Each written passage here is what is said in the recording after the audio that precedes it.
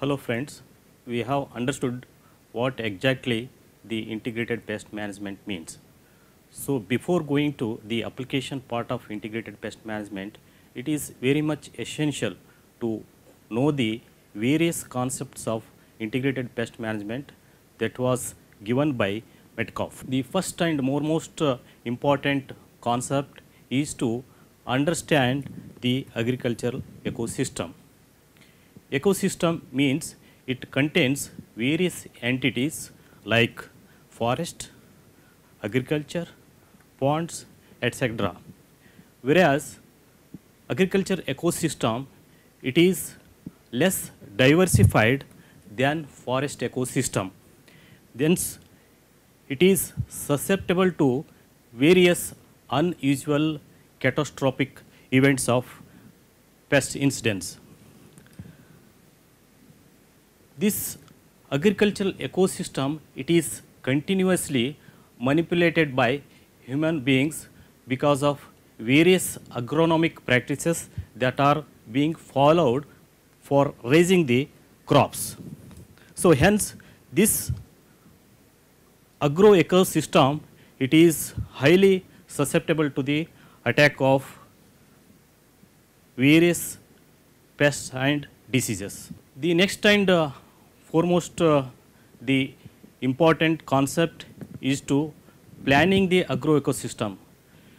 Before implementing the integrated pest management system in crop production, we have to understand or we have to plan the agro ecosystem. Planning lies in the selection of varieties or hybrids.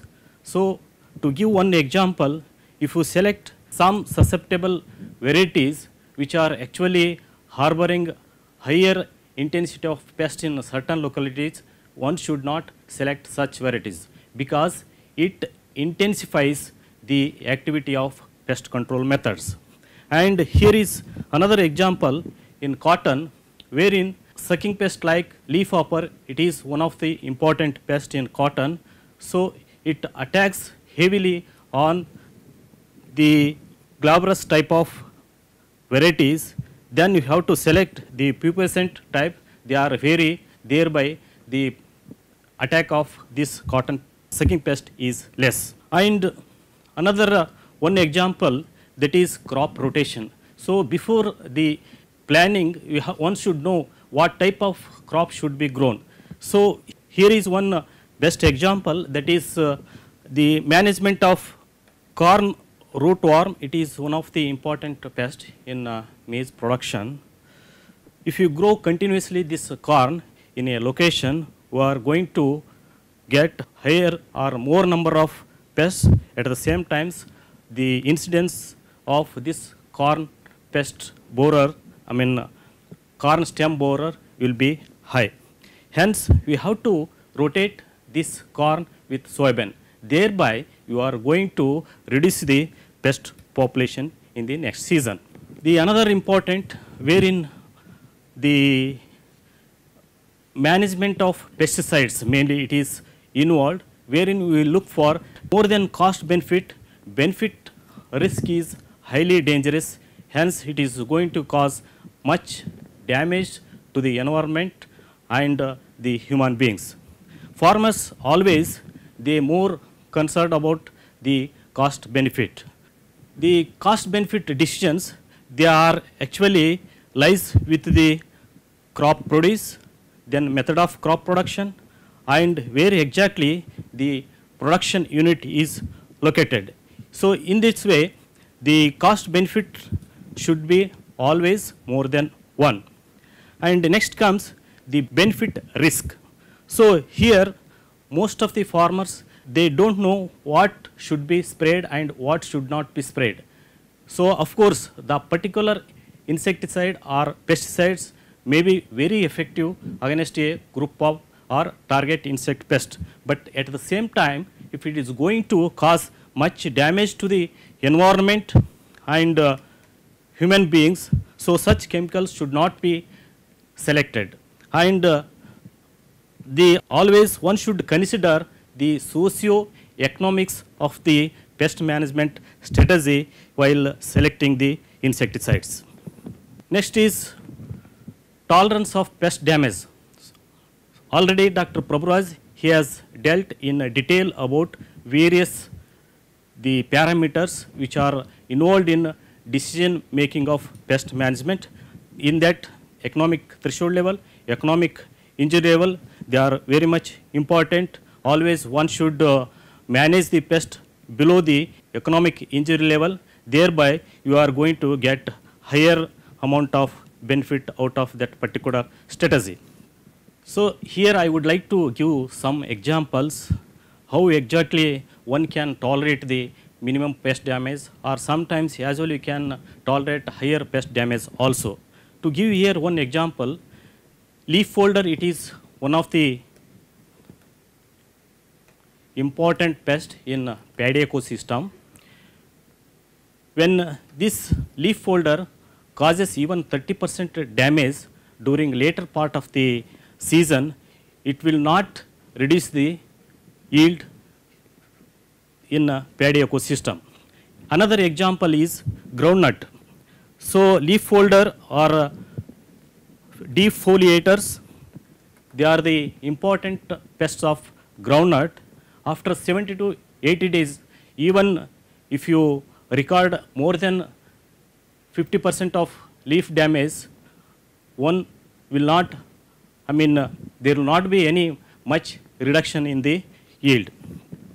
And another example in case of sunflower, the top six leaves, they are very important in the production.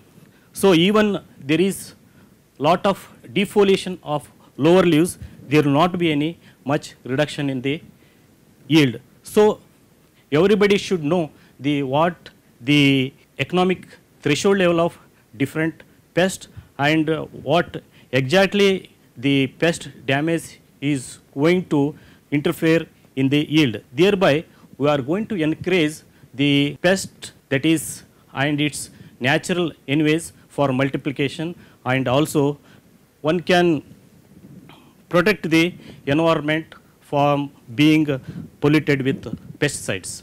So, the continuation of uh, the earlier concept. So, at least we should uh, leave some part of pest residue so that one can encourage the multiplication of its natural enemies like parasitoids and predators. Thereby, they are going to reduce the pest population below economic threshold. So, that is why always the concept of pest management is to suppress the pest, but not eradication of the pests. Then another uh, important concept that is timing of the treatments. So, most of the times this timing of the treatments refers to the pesticides because most of our farmers they depend on pesticide use and uh, the, it is very much required because unnecessary application of these pesticides they are going to cause much hazardous on the environment. So, we have to identify the crucial period of pest occurrence and its ultimate effect on the yield. Thereby, timing of insecticide it is more important thereby you can save lot of pesticides application on the environment. So, single timely application it is going to save lot of further application of pesticides. So, that is why only single spray if it is properly timed can prevent most of the damage due to insects and also one can avoid the excessive spraying also. So, for monitoring as well one can use various uh, the devices which are available like pheromone traps for the for recording the activity of adult thereby one can time the application of these pesticides. So, you have the technology, but if it is not acceptable or if it is not understandable by the end users, so there is no use of implementation, I mean there is no use of implementation of these IPM programs. That is why education is much needed regarding the concept and understanding of the concepts and implementation of IPM programs. Since India is one country wherein we have a lot of the uneducated farmers, they don't know what is best and what when it has to be taken prevent measures. That's why the concept of the pest management has to be ascertained to the end users through involvement of uh, many stakeholders or NGOs. So, it is very much essential to the to understand the concepts of integrated pest management before putting this integrated pest management into the production system. Thank you.